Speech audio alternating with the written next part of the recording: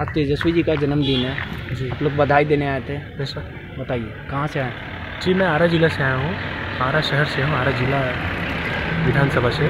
और स्पेशली मैं तेजस्वी यादव जी के लिए आया हूँ। उनका आज उनतीसवां जन्मदिन है। उनको आज बधाइयाँ देने आया हूँ। और आने वाले 2020 इलेक्शन में वो बिहार के मुख्यमंत्री बने। यही हमारी कामना है। हम युवा हैं। और इस देश का युवा बिहार का युवा तमाम युवा ये चाहता है कि